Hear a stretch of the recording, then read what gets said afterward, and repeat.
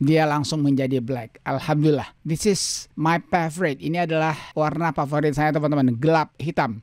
Assalamualaikum warahmatullahi wabarakatuh Welcome back to my channel Selamat datang kembali ke channel saya Hari ini saya kembali menjumpai kalian Untuk memberikan satu sharing Yang kalau kamu suka menggunakan dark mode seperti saya Judul video kita hari ini adalah Cara buat control panel Dan isinya jadi dark mode atau mode gelap Kawan-kawan, kalau kamu menggunakan Windows 10 ataupun Windows 11, kamu pasti tahu kalau control panel hanya memiliki satu mode saja, yakni mode light atau mode terang. Meskipun kita sudah men-setting di Windows kita itu menjadi gelap. Saya buktikan teman-teman ya, ini sekarang saya menggunakan dark mode. Kita buka uh, this PC. Nah, kamu sini ini dark ya. Kita masuk juga ke setting ini juga dark tentunya kamu sudah lihat ya. Tetapi ini tidak konsistennya Windows 11 teman-teman. Kita masuk ke control panel. Ini control panel dan dia putih teman-teman. Jadi ini kekurangannya Windows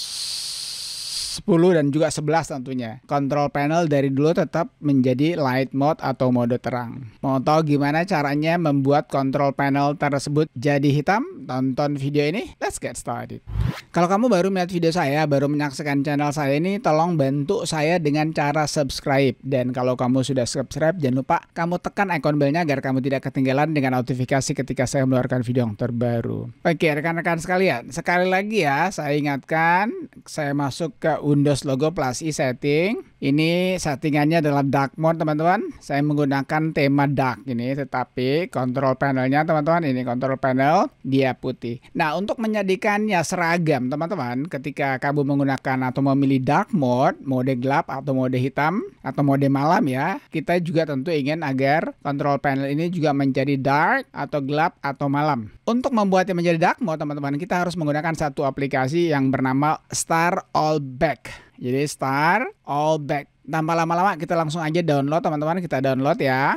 Ini dia teman-teman. Ini dia teman-teman namanya starallback.com. Oke, kamu silahkan baca sendiri. Nanti saya akan berikan dia punya uh, alamat website. Kalau saya lupa, kamu tinggal tulis aja Star All Back ini. Nah, kita download teman-teman. Sebenarnya ini berbayar teman-teman ya. Ini berbayar sebanyak 2 dolar. Tapi kalau kamu nggak mau berbayar dan kamu mau coba-coba dulu, silahkan kamu coba-coba selama 100 days, 100 hari teman-teman. Ini luar binasa 100 hari itu 3 bulan lebih. Ini yang terbaru 3.8.4 kita download karena saya sudah pernah mendownload sebelumnya langsung aja ambil duplikatnya teman-teman dia cuma besarannya 2 MB saja start download udah selesai open foldernya Ya, ini foldernya teman-teman ya. Kamu lihat ini ada dua ya. Ini yang satu, ini yang kedua. Nah, caranya teman-teman, kamu langsung aja install. Kita lihat sini baik-baik. Tolong lihat perhatiin baik-baik teman-teman. Saya langsung install ya.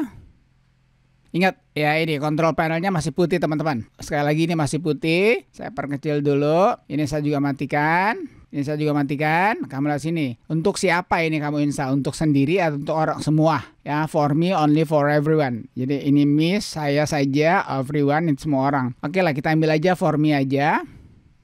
Ya, udah selesai teman-teman. Nah dia langsung bawa kita punya Starman itu ke samping kiri ya. Kalau ini mengenai apa yang harus dilakukan ini ini urusan belakangan nanti. Kalau kamu ingin tahu banyak mengenai Star All Black, sorry Star All Black, kamu tulis aja di kolom komentar. Nah sekarang kita langsung masuk ke control panel teman-teman. Kita masuk control panel tuliskan control panel ini control panel bin salabin tuh 23 dia langsung menjadi black. Alhamdulillah. This is my favorite. Ini adalah warna favorit saya teman-teman, gelap hitam ya. Jadi saya bisa berlama-lama. Nah, kan judulnya nih control panel dan isinya. Sekarang kita masuk power option. Nah, ini juga sudah menjadi black juga. Kita masuk choose what the power buttons do. Ini juga sudah. Kita back, kita power plan-nya coba lihat, juga sudah black. Jadi sangat mudah sekali teman-teman. Oke, kamu sudah lihat, gampang sekali. Jadi dia seragam sekarang teman-teman. Kita masuk Windows logo plus i setting. Nah, ini black toh. Kemudian kita masuk control panel, sorry, uh, this PC juga. Ini juga sudah black. Kita masuk control panel juga pasti dia sudah black. Control panel, mana kok? Ini dia.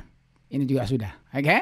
Karena hari ini kita cukup membicarakan mengenai dark mode atau mode gelap atau mode malam atau mode hitam ya, makanya yang lainnya mengenai Star All Back ini saya tidak akan bicarakan. Hanya satu saya mau anukan teman-teman ya. Kalau misalnya ini kamu ingin membuatnya ke tengah, kita masuk ke taskbar ini. Nah, kamu pilih di sini. Kalau mau ke sentral ini, ke tengah atau center, kita pilih ini teman-teman. Center task icon, itu dua, Nah, udah, sudah kembali ke tengah. Yang lainnya lagi silahkan kamu tanyakan saja kalau memang ingin saya buatkan untuk dia punya tutorial, komen saja di kolom komentar. Dan kalau kamu bertanya, bagaimana kalau ingin, ingin mengembalikan, kamu tinggal uninstall aja teman-teman. Kamu tinggal uninstall atau coba kita cek ya. Saya buat di sini ini menjadi light mode. Kita coba light ini. Ini sudah warna putih teman-teman. Apakah kontrol panel juga berubah menjadi putih? Kita lihat tuh dua. Iya, betul sekali. Ya, jadi ada dua cara teman-teman. Kamu bisa uninstallnya Kemudian bisa juga melalui settingan ini kamu pilih aja menjadi light mode atau mode terang tetapi dengan konsekuensi semuanya menjadi terang juga tentunya.